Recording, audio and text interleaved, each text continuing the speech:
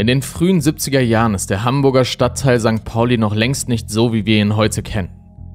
Auch damals gibt es in dem Bezirk, durch den die weltberühmte Reeperbahn führt, allerlei Schauplätze für Verruchtes, Exzesse und Tabus. Doch was fehlt, ist das bunte, durch Gentrifizierung und oft von Leichtigkeit geprägte Bild des Stadtteils.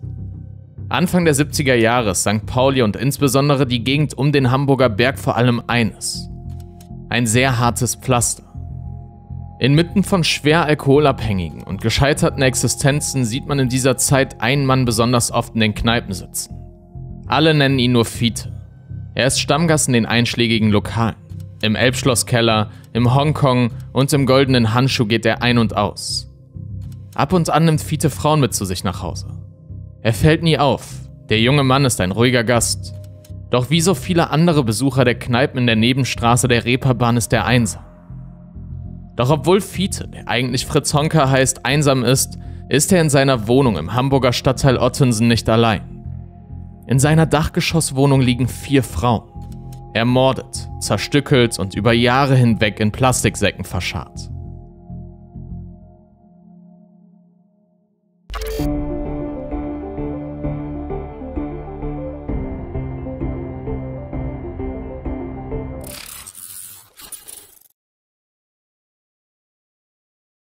Manchmal, wenn ich vom PC sitze und das nächste Video recherchiere, stoße ich während meiner Recherchen auf Artikel, auf die ich nicht zugreifen kann, nur weil ich mich in Deutschland befinde.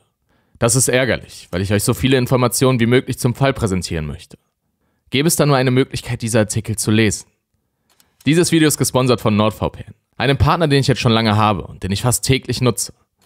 Denn mit NordVPN kann ich selbst bestimmen, wo ich mich gerade befinde und kann so kinderleicht dieses Geoblocking umgehen. Das gilt nicht nur für Zeitungsartikel, sondern auch für Serien. Gerade wenn man in den Urlaub fährt, mega praktisch, weil man weiterhin alle Serien gucken kann, die man in Deutschland angefangen hat. Und NordVPN zu bedienen ist extrem einfach. Ihr klickt einfach auf ein Land auf der Weltkarte und schon seid ihr mit dem Server verbunden. Es gibt über 5000 Server in 60 Ländern. In Deutschland alleine mehr als 200. Das heißt, ihr seid trotz VPN schnell im Internet unterwegs. Seit neuestem gibt es auch einen zusätzlichen Bedrohungsschutz, der vor schädlichen Werbungen schützen kann. Zu NordVPNs 11. Geburtstag gibt es jetzt unter nordvpn.com slash insolito einen exklusiven Rabatt auf ein 2-Jahres-Abo. Zusätzlich gibt es einen kostenlosen Monat und ein Bonusgeschenk. Sollte NordVPN euch nicht gefallen, gibt es eine 30-Tage-Geld-Zurück-Garantie. Also klickt einfach auf den Link in der Infobox, falls euer Interesse geweckt wurde. Und jetzt zum heutigen Video.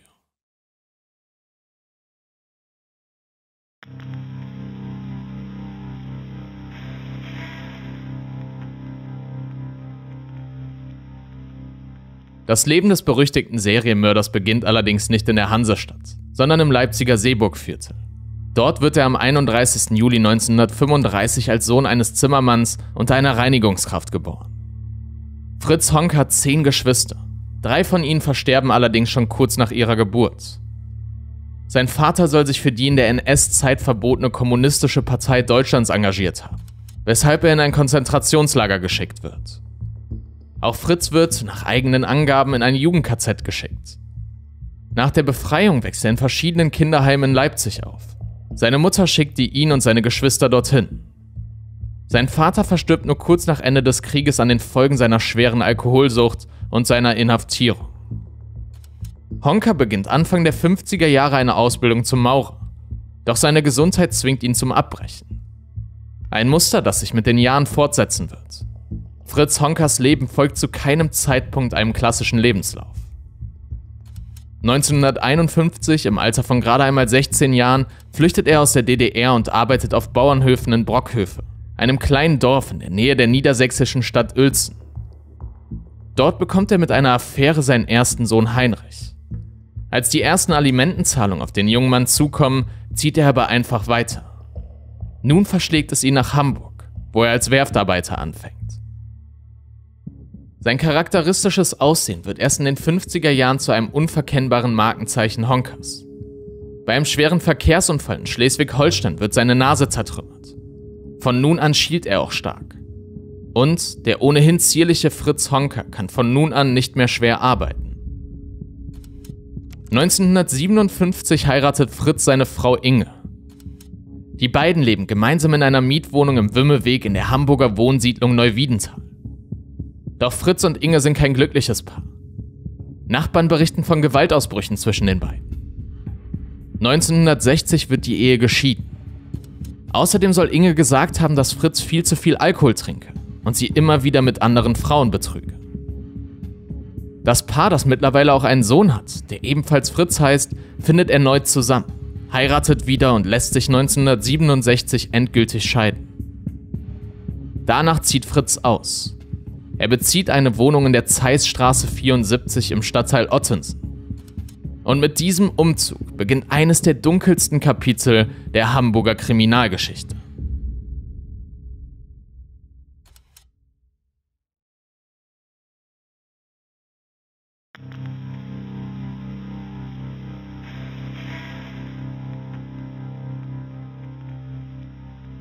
Insbesondere die Kneipe zum Goldenen Handschuh wird in den 70er Jahren oft von Honker besucht.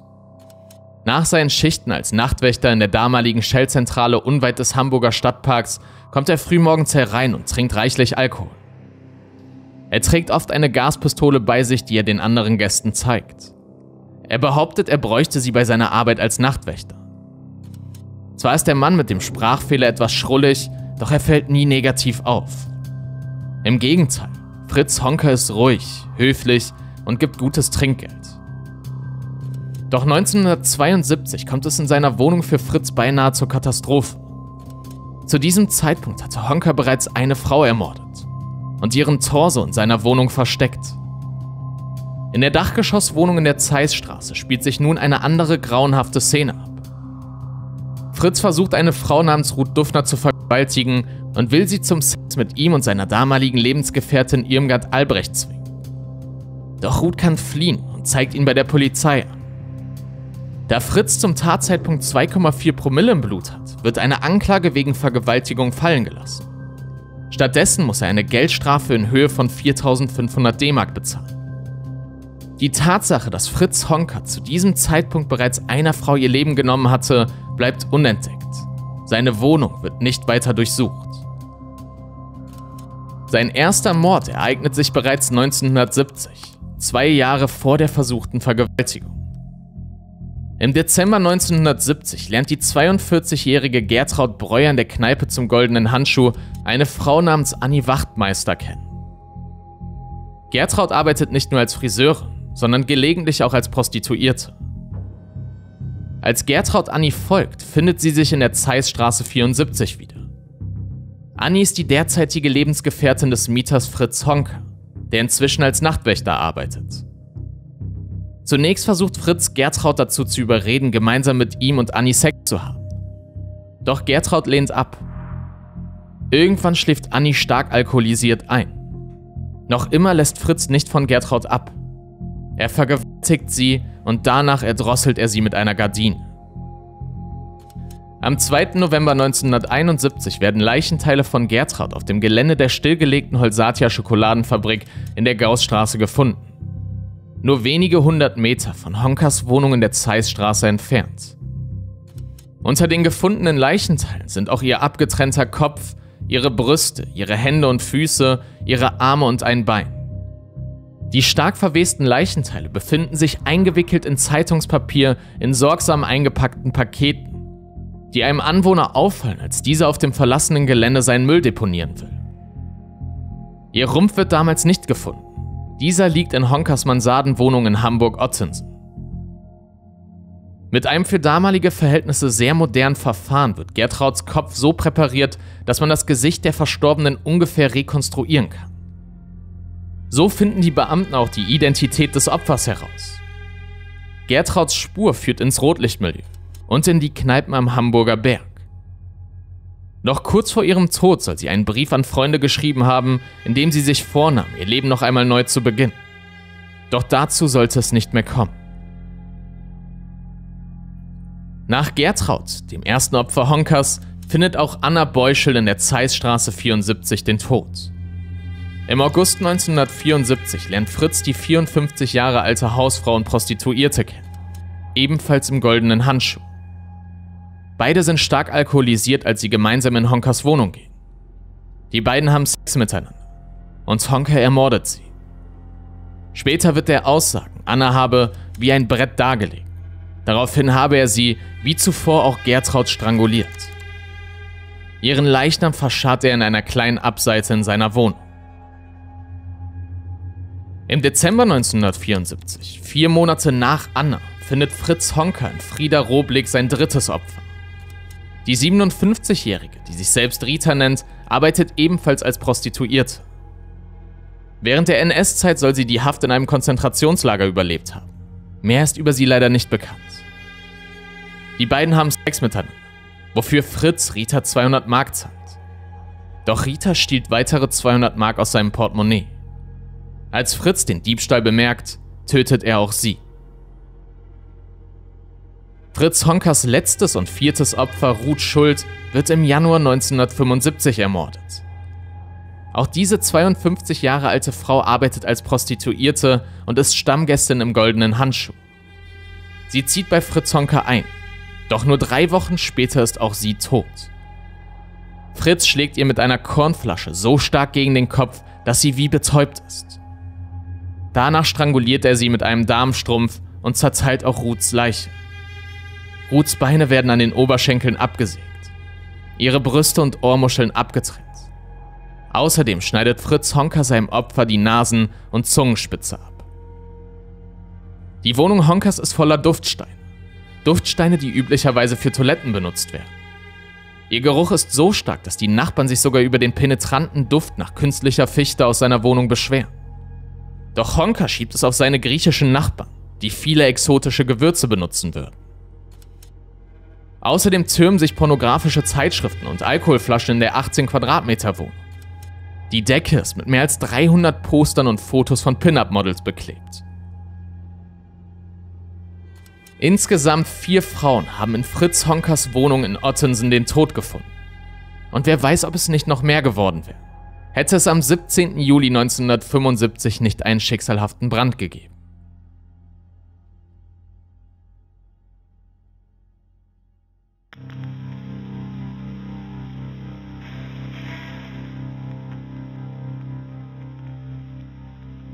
Um 3.37 Uhr geht in der Hamburger Feuerwehrwache der Alarm los. Ein Mann ist in einem Wohnhaus bei Kerzenlicht eingeschlafen. Nun drohen die oberen Geschosse auszubrennen. Die Feuerwehr ist innerhalb weniger Minuten bei der entsprechenden Adresse. Es ist die Zeissstraße 74. Während das Feuer im zweiten Stock entstand, hatten die Flammen sich an der Decke entlang gefressen, sodass nach der Löschung des Brandherdes auch die Dachgeschosswohnung und der Dachboden von der Polizei überprüft werden müssen. Im Haus fällt den Einsatzkräften vor allem der unangenehme Geruch auf. Es liegt nicht einfach nur Rauch in der Luft, eher riecht es nach brennendem Fleisch. Tatsächlich finden die Feuerwehrmänner noch Glut und daneben einen Plastiksack und in ihm menschliche Körperteile. Bei der Untersuchung der Wohnung, die nun ein mutmaßlicher Tatort ist, stoßen die Ermittler auf zahlreiche Damenschuhe, Handtaschen, Regenschirme und Frauenkleidung in verschiedenen Größen. Und es bleibt nicht bei dieser ersten Entdeckung. Hinter einem kleinen Verschlag findet die Feuerwehr weitere menschliche Überreste. In diesem Wohnhaus im Hamburger Stadtteil Altona wurden heute durch Zufall vier Leichen gefunden. Feuerwehrleute, die einen Zimmerbrand löschten, entdeckten zwei verstümmelte Frauenleichen in Plastiksäcken. Sie waren in einer Rumpelkammer und auf dem Dachboden versteckt worden. Bei den Aufräumungsarbeiten stieß die Mordkommission auf eine weitere weibliche Leiche. Die vierte, das Geschlecht ist noch unbekannt, lag hinter der Küche. Die Polizei vermutet wegen der Zerstückelung dieser Leichen Sexualverbrechen. Der Tatverdächtigt ist der 40-jährige Fritz Honka. Daraufhin rückt die Polizei an und durchpflügt die Wohnung förmlich. Während die Beamten Wände einreißen und Bodendielen hochheben, kommt Fritz Honker nichts an von der Arbeit nach Hause. Der Nachtwächter unterhält sich mit dem Beamten und schnell wird klar, dass es nur eine einzige Person in der Zeissstraße 74 gibt, die einen Schlüssel zum Dachboden hat, auf dem eine der Leichen gefunden wurde. Fritz Honker. Die Person, die gerade mit den Beamten redet. Die Beamten nehmen Fritz mit auf das Polizeipräsidium, um ihn dort zu befragen. Auf der Autofahrt dorthin soll er sich ruhig verhalten haben. Auch während der Befragung ist er zunächst ruhig. Allerdings werden seine Aussagen widersprüchlich. Als der Polizist ihm mitteilt, was in seiner Wohnung gefunden wurde und unter welchem Verdacht er nun steht, beginnt er zu schweigen. Irgendwann fragt er nach einem Arzt. Dann widerruft er seinen Wunsch.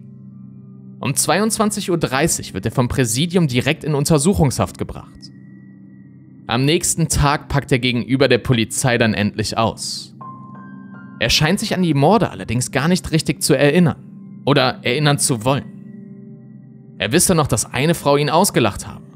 Eine andere habe ihn Penner genannt. Wie und warum er die Frauen allerdings getötet hat, wisse er nicht. Selbst die Gutachter werden sich nicht darüber einig, was Honkers Antrieb gewesen sein könnte.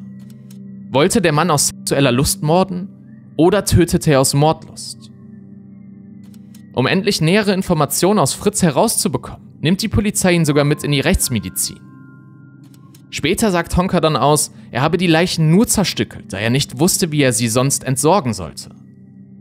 Die Leichen seien einfach zu schwer gewesen, um sie herunter und fortzutragen, also habe er sie zersägt.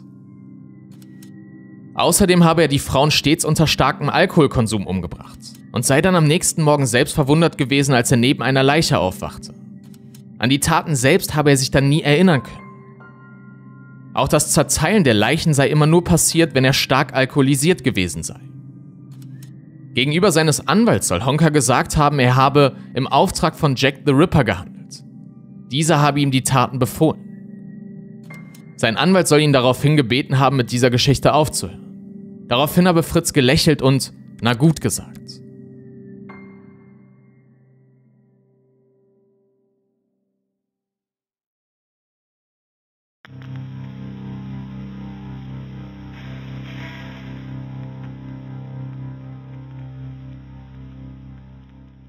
Noch vor seinem Prozess, schon unmittelbar nach der Entdeckung der Leichen in Fritz Honkers Wohnung, wird dieser über Nacht in der ganzen Stadt bekannt.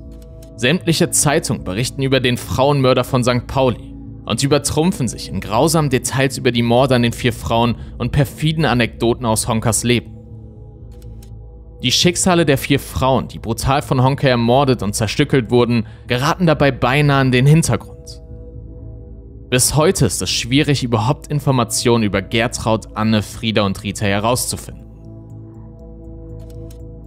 Als Fritz Honka 1976 vor Gericht steht und sich wegen vierfachen Mordes aus sexuellen Motiven verantworten muss, zeichnet eine Psychologin ein eindringliches Bild von Honka. Er habe starke Minderwertigkeitskomplexe und das Bedürfnis, als Mann eine überlegene Stellung zu haben. Er habe sich als Herrn über Leben und Tod angesehen. Er habe die Frauen, die er ermordet hatte, mit nach Hause genommen, weil er sich ihnen sozial überlegen fühlen konnte. Der Sex sei von seinen Machtfantasien beherrscht worden. Er hat sich anscheinend auch regelmäßig als SS-Mann verkleidet. Als ihm dies vorgehalten wird, entgegnet Fritz Honker nur, ich hab sie halt gebumst. Während des Prozesses ändert Fritz für kurze Zeit seine Aussage. Er habe die Leichen zwar zerstückelt, die Frauen jedoch nicht umgebracht. Sein Anwalt hingegen verfolgt eine Strategie, die nicht nur koordiniert, sondern tatsächlich im Rahmen der Möglichkeiten erfolgreich für seinen Mandanten ist. Rolf Bossi war einer der bekanntesten und renommiertesten Strafverteidiger Deutschlands. Nur drei Wochen vor dem Prozess übernimmt er das Mandat für Honka und präsentiert sich während der zwölf Verhandlungstage als Advokat für eine verlorene Seele. Fritz habe die Frauen erdrosselt, jedoch habe kein Mordmotiv zugrunde gelegt. Vielmehr sei Honker unzurechnungsfähig. Nicht nur aufgrund seines erheblichen Alkoholkonsums, sondern auch aufgrund seiner seelischen Abnormalität. Er sei von den Frauen vor den jeweiligen Taten beleidigt worden und habe sich davon derart angegriffen gefühlt, dass er sie in Rage umbrachte. Bossi porträtiert Fritz vor Gericht als einen gezeichneten Menschen, einen Sozialfall, der im Leben stets nur verloren hat. Und das Urteil des Gerichts kommt Bossis Forderung definitiv näher als den Forderungen der Anklage. Denn Fritz Honker wird nicht wegen vierfachen Mordes verurteilt, sondern zu 15 Jahren Freiheitsstrafe wegen Mordes in einem Fall und dreifachen Totschlags. Dieses Urteil gilt bis heute als sehr kontrovers.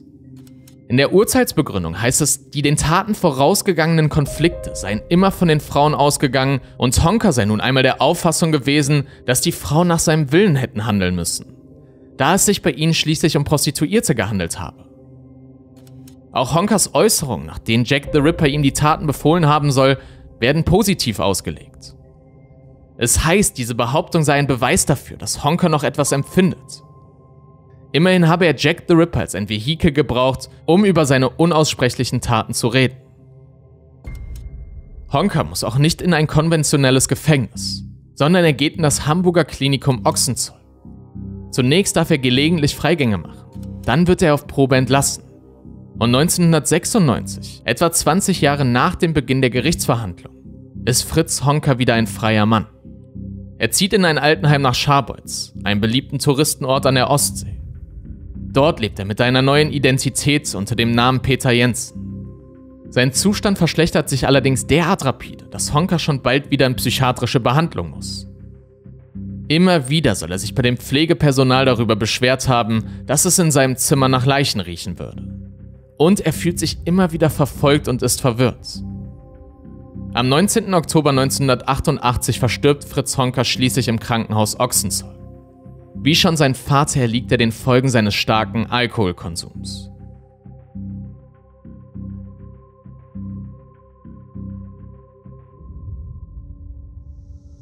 Auch wenn Fritz Honka schon lange tot sein mag, lebt sein Mythos definitiv weiter.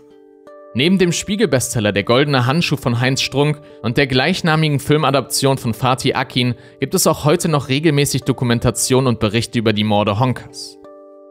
Dennoch gibt es eben, wie in jedem Fall, den wir hier besprechen, nicht nur den Täter, sondern vor allem die Opfer. Nicht nur Zeit ihres Lebens hat niemand Gertraud Breuer, Anna Beuschel, Friede Roblick und Ruth Schuld vermisst, auch heute finden sie selbst im Kontext ihrer eigenen Ermordungen nicht statt. Innerhalb seiner Tragik bietet dies auch eine spannende Diskussionsgrundlage. Wie bewertet ihr das Urteil gegen Fritz Honka aus heutiger Sicht? Denkt ihr, sein Strafmaß wäre ein anderes gewesen, hätte er heute vor Gericht gestanden? Ich bin gespannt auf eure Antworten auf diese Fragen und freue mich natürlich wie immer darüber, wenn ihr das Video zusätzlich mit einem Gefällt mir markiert. Ihr könnt den Kanal natürlich auch gern abonnieren, um keine weiteren Dokumentationen zu verpassen. Und solltet ihr das tun, könnt ihr auch gerne die Glocke aktivieren. So bekommt das Video kurz nach dem Upload viel Interaktion. Und das wiederum erhöht die Wahrscheinlichkeit, dass das Video Leuten vorgeschlagen wird, die den Kanal noch nicht abonniert haben. Vielen Dank schon einmal im Voraus und auch vielen Dank fürs Zugucken. Bis zum nächsten Video. Ciao.